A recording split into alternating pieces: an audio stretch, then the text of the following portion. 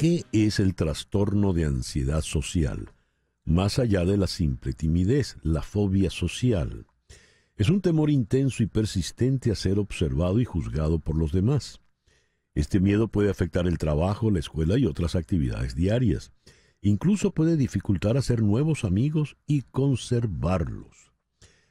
Este es un tipo frecuente de trastorno de ansiedad, la ansiedad social. Una persona con trastorno de ansiedad social siente síntomas de ansiedad o temor en situaciones en las que otros pueden estar analizándolos, evaluándolos o juzgándolos, como por ejemplo hablar en público, conocer gente nueva, salir con alguien en una cita, asistir a una entrevista de trabajo, responder una pregunta en clase o tener que hablar con un cajero o en una tienda, hacer cosas rutinarias como comer o beber frente a otras personas o usar un baño público. También le pueden causar ansiedad o temor debido a la preocupación de ser humillado, juzgado o rechazado. Caramba. Una persona así no, no, querrá salir de la casa. Vamos a abordar este tema con... Regresamos a la Argentina. Ahora vamos no a Córdoba, sino a Buenos Aires, donde está la psicóloga clínica Manuelita Pérez Méndez. Manuelita, muy buenos días. Gracias por acompañarnos de nuevo. Gracias por la invitación. Muy buenos días. Encantada de estar acá. Y en la ciudad de Guayaquil está la también psicóloga y psicoterapeuta María Fernanda Acosta Sánchez. María Fernanda, muy buenos días. Gracias por estar con nosotros. Buenos días. Gracias a ti, San Miguel, por la invitación. Manuelita, vamos a comenzar contigo. ¿Qué es esta fobia social? ¿Es algo tan extremo como lo que acabo de leer? Sí, eh, efectivamente se caracteriza como un trastorno de ansiedad porque es un miedo desproporcionado a situaciones sociales donde la persona siente que puede ser humillada o avergonzada y le causa muchas limitaciones en todos los niveles de, la vida. Pero ¿por qué siente que la van a humillar o avergonzar? Eh, hay varias eh, ideas sobre esto. Hay una creencia, una infravaloración de las propias capacidades y recursos. La persona siente que no tiene habilidades sociales para responder ante esas situaciones y es muy hipersensible a la crítica. ¿okay? Le cuesta mucho eh, pensar que puede hacerle frente a las situaciones y le da demasiado valor a lo que los demás puedan pensar de él.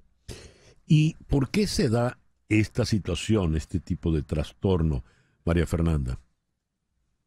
Sí, bueno, sabemos hasta ahora que hay algunos elementos genéticos que podrían explicarlos, eh, porque se ha notado que padres que tienen este tipo de trastorno de ansiedad social, eh, de alguna manera sus hijos también lo pueden presentar, ¿no? En un porcentaje alrededor del 10%. Sin embargo, esta no es la única razón, la única causa sabemos que hay algunos factores que son de riesgo para desarrollar este tipo de trastorno, como por ejemplo eh, haber vivido en la infancia o en la adolescencia, que es una edad tan sensible, la exposición a, la crítica, incluso al maltrato, una dinámica familiar violenta. Entonces esto no es una causa que se relacione directamente, pero sí que es un factor de riesgo. Además, César Miguel, hay que considerar que en los últimos años los chicos, los niños, adolescentes han crecido eh, un poco más aislados del contacto social y, digamos, están más necesitados de desarrollar esas habilidades sociales. Entonces, si estos factores se combinan, pueden derivar en este tipo de trastorno. Por lo que estás diciendo, María Fernanda, este mal, este trastorno crece ahora. ¿Cómo?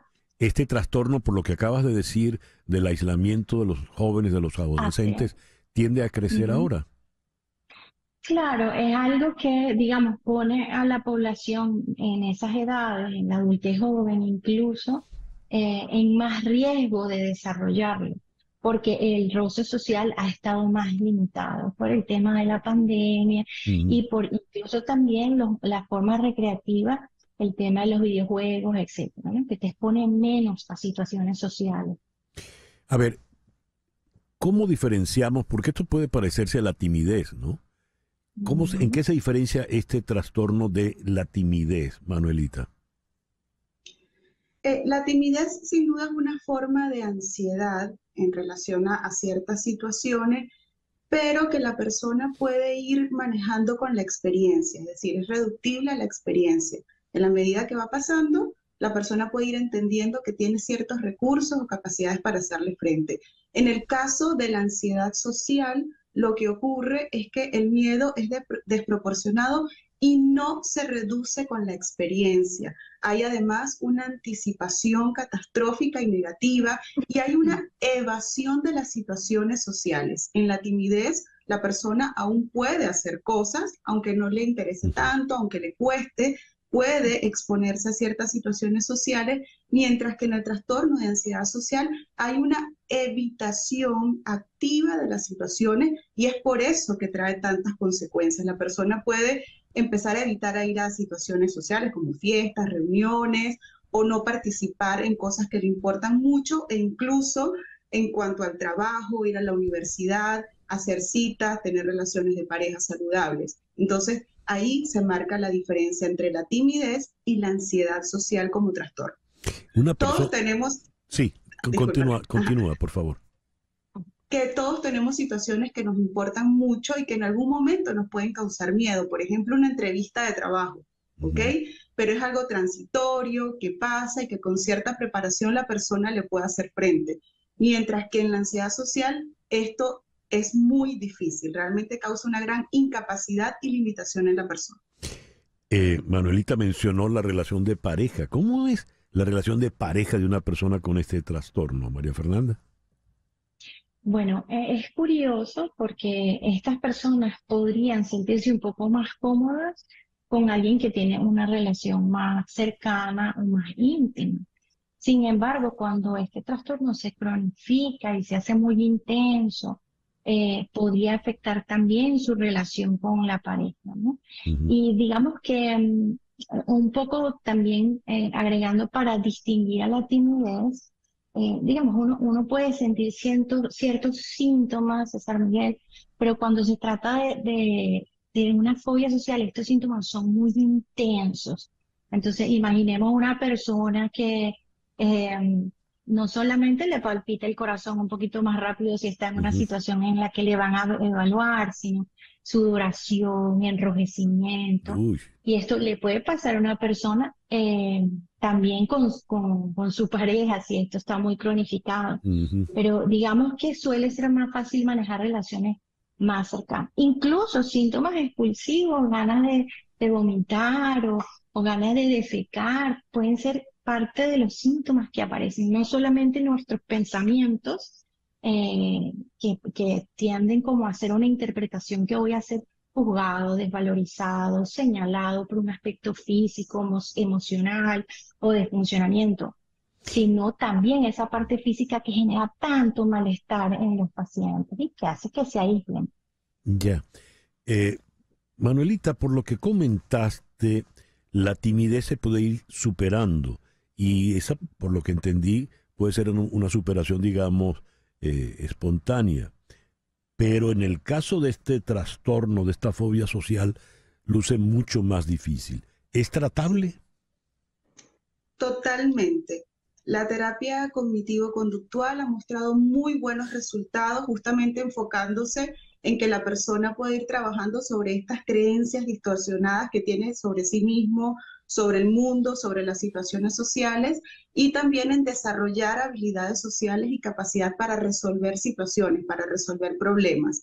En algunos casos también es necesario la medicación, tanto para mejorar un poco la sintomatología eh, física, que como bien lo señalaba eh, María, causa muchísima dificultad también para trabajar toda la parte más ansiosa que tiene que ver más con los pensamientos, pero sí es tratable. ¿Qué tipo de medicamentos? Eh, algunos antidepresivos, como los inhibidores selectivos de la recaptación de serotonina, han mostrado muy buenos resultados y los betabloqueantes para la parte más física de los síntomas físicos han mostrado buenos resultados.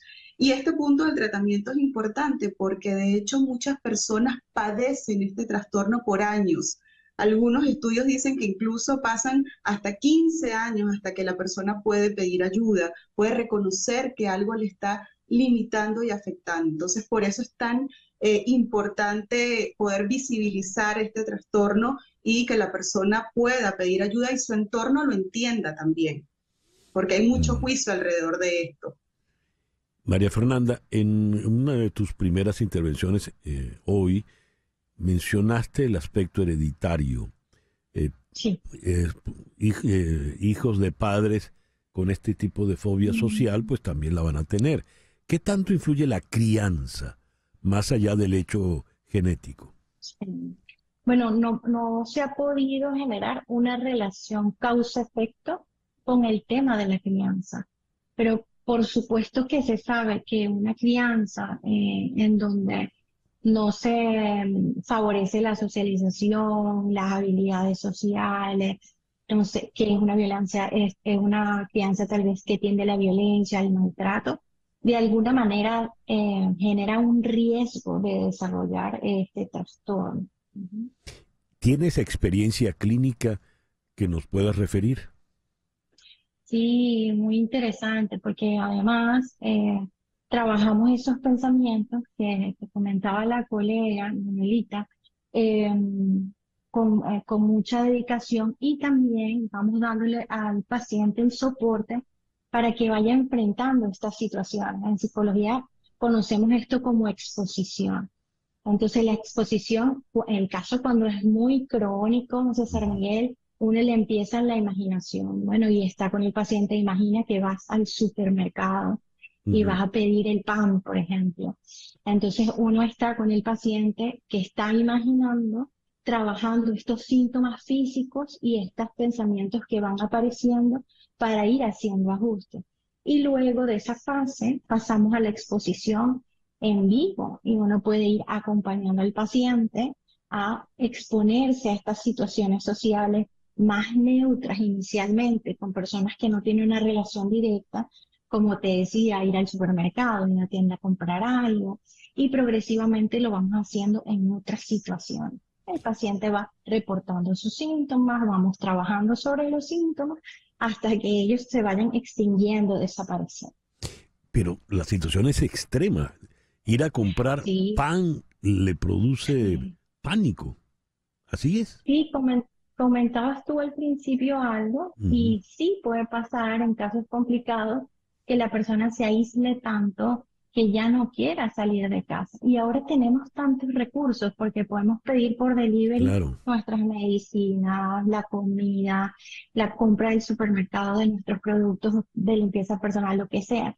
Entonces la gente se puede complicar e irse aislando al punto de no salir y generar otros trastornos de ansiedad adicionales. Eh, pero sí, sí pasa. Dios. Bien, el tiempo se nos ha venido encima y hay que buscar algún tipo de conclusión. Entonces te voy a dejar la palabra de cierre a ti, Manuelita, por favor. Bueno, mi, mi palabra de cierre sería que entendamos cuando algo nos está limitando. Hay muchas formas de evadir. Algunas son más claras, no puedo hacerlo, y otras son encubiertas eso es aburrido, estoy cansado, no voy a hacer la compra. Entonces, hacer una revisión sobre lo que nos está limitando es muy importante para poder pedir ayuda.